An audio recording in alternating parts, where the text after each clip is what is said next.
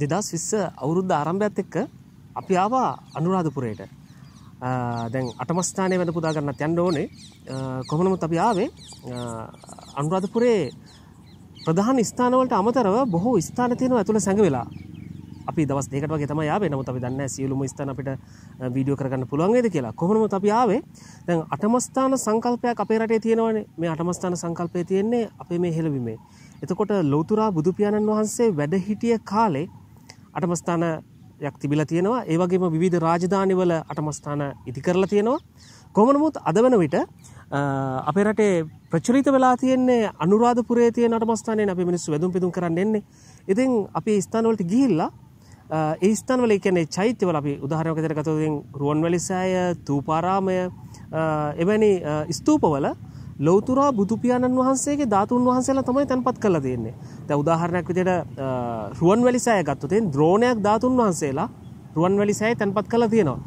ඉතින් අපි අද පෙන්වන්න හදන්නේ වීඩියෝ කිහිපයක් අපි කරන්න අරමුණු කරගෙන තියෙනවා.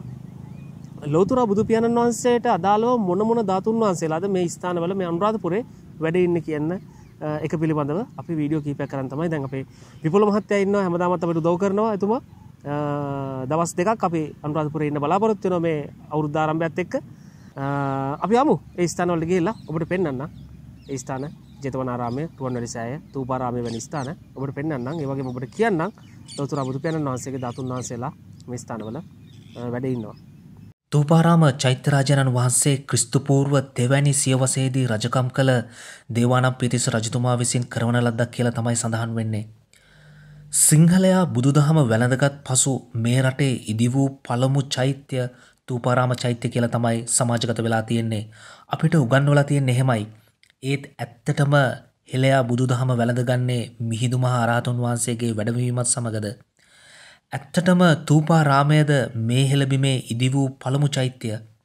නැගෙනහිර පලාතේ අම්පාර වැනි පැතිවල ඉදිකර ඇති පැරණි චෛත්‍ය මොනවද කියලා අපි දන්නවද?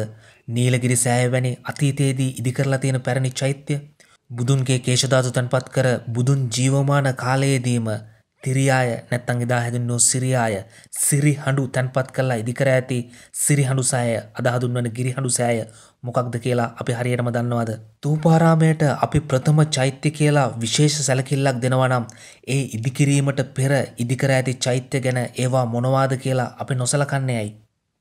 මිහිදුමා අරාතුන් වහන්සේ ලංකාපුරට වැඩම කරන්නේ ජම්බුද්දීපයේ ඉදන් කියල තමයි සඳහන් වෙන්නේ. පසුව මිහිදුමා අරහතුන් වහන්සේ සහ ලංකාපුර පාලකයා වූ දේවානම් පිතිස්ස රජතුමා අතර කතිකාවතක් ඇති වෙනවා. ඒ කතිකාවතේ ප්‍රතිඵලයක් හැටියට තමයි තූපාරාමය ඉදිවෙනවා කියලා පොතපතේ සඳහන් වෙන්නේ. තූපාරාම චෛත්‍ය මිහිදුමා අරහතුන් වහන්සේගේ ලංකාපුරට වැඩමවීමෙන් පසුව එහි ඉදිවුණු පළමු චෛත්‍ය වෙන්න පුළුවන්. හැබැයි ඊට පෙර බුදුන් මේ හෙළබිමේ ජන්බුද්ධීපයේ වැඩ සිටි කාලයේදීම ධාතුන් වහන්සේලා තැන්පත් කර චෛත්‍ය බොහෝ ප්‍රමාණයක් ඉදිකර ඇති බව අප සිහි තබාගත යුතුයි. දේවානම් පිරිස රජු හා මිහිදු හිමියන් අතර ඇති වූ කතාව අවසානයේ ප්‍රතිඵලයක් වූ එකඟතාවයක් මත මේ චෛත්‍ය ගොඩනැංවීම ආරම්භ වුණාට පස්සේ සුමන සාමණේරයන් වහන්සේ පැළලුප් නුවරට වැඩමුවා උන්වහන්සේගේ මුත්තනුවන් වූ ධර්මාශෝක මහරජතුමාගෙන් ගොතම බුදුන් පාරිභෝග කළ පාත්‍රයේද සර්වඥධාතුන්ද ගෙන අනතුරුව සක්දෙව්පුරයට ගොස් සක්‍රදේවයන්ගෙන් දකුණු අකුධාතුන් වහන්සේද රැගෙන පැමිණි බව තමයි සඳහන් වෙන්නේ. ඇත්තටම සුමන සාමණේරයන් වහන්සේ මේ ධාතු රැගෙන එන්න ගියේ කොහෙටද? උතුරු ඉන්දියාවටද? නැත්නම් මහා භාරතයටද? මිහිඳු මහා අරහතුන් වහන්සේ වැඩ සිටි ජම්බුද්වීපයේ පාලකයා වූ අශෝක රජපරපුර ඇත්තටම සිටියේ කොහෙද? අශෝක පරපුර පිළිබඳව මේ හෙළබිමේ බොහෝ පැතිවලින් සෙල්ලිපි හමු වී ඇති බව විවිධ විද්දුතුන් පවසනවා. අශෝක රජතුමා ගැන කාලාශෝක රජතුමාලා ගැන සඳහන් වුණු මේ හෙළබිමේ අතීතයේදී රචනා වුණු බොහෝ පුස්කොළ පොත්පත් අපට හමු වෙලා තියෙනවා. මේ තොරතුරු හොයාගෙන යන විට අපේ මිනිස්සු දන්නේ මේ හෙළබිමේ සත්‍ය කතාව නෙමේ කියන එක නම් ඉතාමත්ම පැහැදිලි. දැන් රුවන්වැලි මහාසෑයට ධාතුන් වහන්සේලා වැඩම කරන්නේ නාගලෝකේ. අපි දන්න ඉතිහාස කතාව තුළ රචිත ඉතිහාස කතාව තුළ. එතකොට තූපාරාමයට ධාතුන් වහන්සේලා වැඩම කරන්නේ දෙව්ලොවින්. දෙවලුවෙන් වැඩම කරන්න මෙහෙමයි මිහිදුම අරහතුන් වහන්සේ ලක්දිව බුදු සසුන පිහිටව්වට පස්සේ උන්වහන්සේ විසින් සුමන සාමනේරයන් වහන්සේව දෙව්ලෝට පිටත් කර යවනවා. එවිට සක්‍ර දේවෙන්දයා විසින් සිළුමිනි සෑයේ තැන්පත් කරලා තිබ්බ දකුණු අකුධාතුන් වහන්සේව දෙව්ලොව ඉදන් මේ ලක්දිවට වැඩම කරනවා කියල තමයි ඉතිහාස කතාව තුළ සඳහන් වෙන්නේ. එතකොට ඇත්තටම දැන් අපි පහුගේ දවසල කතා කරා නාලොවට නාලොව කොහේද නාගලෝකය කොහේද කොහේ ඉදන්ද රුවන්වැලි සෑට ධාතුන් වහන්සේලා තැන් වැඩම කරන්න ඇත්තේ දැන් ඒවගේම තූපාරාමයට ධාතුන් වහන්සේලා වැඩම කරන්න දෙව්ලොවෙන්නේ කොමන මුද සක්‍ර දේවේන්ද්‍රයාගේ යටතේ තිබ්බ දකුණු අකුධාතුව තමයි තූපරාම පුදුබිමට සුමන සාමනයරණ විසින් වැඩමවන්නේ ඊට පස්සේ මේ දේවානම් පිතිස රජතුමාගේ මූලිකත්තයෙන් මේ තූපරාම ස්තූපය තූපරාමය නිර්මාණය වෙන්නේ. ඉතින් කොහොම නමුත් ලෞතුරා බුදුපියාණන් වහන්සේගේ දකුණු අකුධාතුව මේ තැන්ම තැන්පත් කරලා තිබෙනවා. ඒ වගේම දඹදිව රජ කළ අශෝක රජතුමා විසිනුත් ධාතුන් වහන්සේලා ලබා දීලා තියෙනවා. එතකොට දඹදිව කොහෙද කියලා අපි හොයා බැලිය යුතුයි. අශෝක රජතුමා රට අශෝක රජතුමාගේ පාලනය තිබ්බේ කොහෙද කියලා අපි හොයා බලන්න ඕනේ. එතකොට දෙව්ලොව කියන එක මෙතන ඇත්තටම ප්‍රශ්න වෙලා තියෙන්නේ දෙව්ලොව කොහෙද? මොකද සිළුමිණි සෑය තිබිලා තියෙන්නේ දෙව්ලොව. සක්‍ර දේවෙන්ද ඇදලා තියෙන්නේ දෙව්ලොව. මේ අහසේ තියෙන දෙව්ලුවක් ගැනද කතා කරන්නේ නැත්තං මේ පොලෝ තලේ තියෙන දේව ගෝත්‍රකයෙන් වාසය කරපු දෙව්ලුවක් ගැනද මේ කතා කරන්නේ ඔබට බාරයි ඒ කරුණු කාරණා සොය බලන්න. මහාවංශයේ සිංහල පරිවර්තනය සඳහන් වෙන්න මෙහෙම ඉක්බිත්තෙන් ස්තවීරයන් වහන්සේ රජගේ නික්ම සෑගිරියට වැඩ යහපත් මොනෝ ඇත්තා වූ සුමන නම් හෙරනුනුවන්ට යහපත් වූ සුමනය එවයි කැඳවා තෝ උතුම් වූ පුෂ්පපුරයට ගොස් තාගේ මුත්තන වූ මහරජහට මෙසේ අපේ වචනය කියව මහරජාණනි යුෂ්මතුන්ගේ යහල් වූ දෙවියන්ට ප්‍රිය වූ දෙවන පැතිස් නම් මහරජතම බුද්ධ ශාසනයේ ප්‍රසන්න වූයේ තූපයක් කරවනු කැමැත්තේය. නුඹ සමීපයෝ සුගත ශරීර ධාතු ඇත්තාහ. සර්වඥයන් වහන්සේගේ ධාතුන්ද ශාස්ත්‍රූන් වහන්සේ විසින් පාරිභෝග කරන්නා ලද වූ පාත්‍රයද දෙවයයි කියා පාත්‍රය පුරා ඒ ධාතුන් ගෙන සක්දෙව් පුරයට ගොස් ඒ සක්දෙව් රජහට මෙසේ අප වදනය කියව දේවේන්ද්‍රයානෙනි තුන්ලෝ වැස්සන්ගේ දක්ෂිනාවට සුදුසු සර්වඥයන් වහන්සේගේ දකුණු දළදායද දකුණු අකුධාතුවද යුස්මුතුන් සමීපයේ ඇත්තාහ.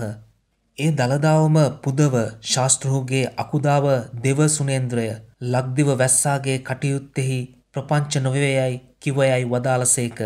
ඒ මහත් ඉර්දිමත් වූ හෙරනුව වහන්ස එසේ යයි කියා එකනෙහිම ධර්මාශෝක මහරජු කරා වැඩිසේක.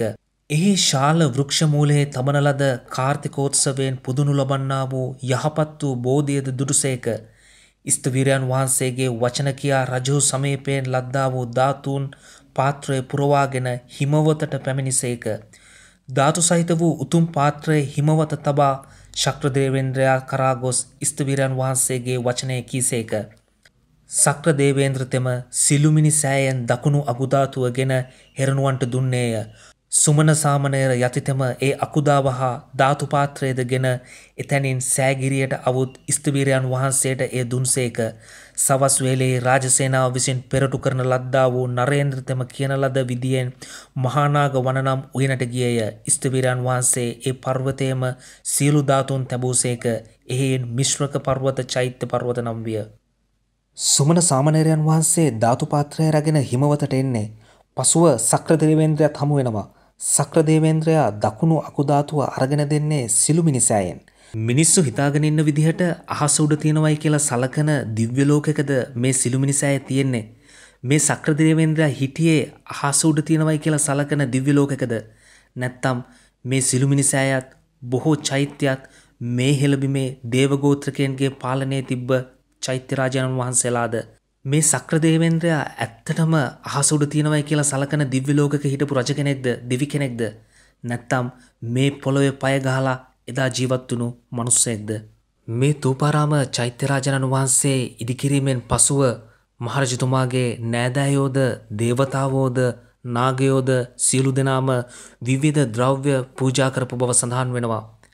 ඇත්තටම මේ දේවතාවෝ දිව්‍ය තලවල හිටපු දේවතාවෝද මේ නාගයෝ කොහේ හිටපු ජීවීන්ද මේ මේ පොළොවේ පය ගහලා හිටපු එදා හිටපු මිනිස්සු නෙමෙයිද සක්විති රජ පරපුරෙන් පසු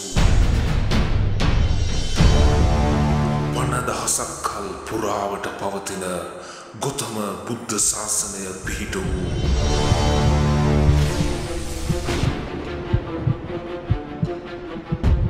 ගොතම බුදුන් උපන් ජම්බුද්දීපය සොයා යන සිව්හෙලේ සත්‍ය හෙළිදරව්ව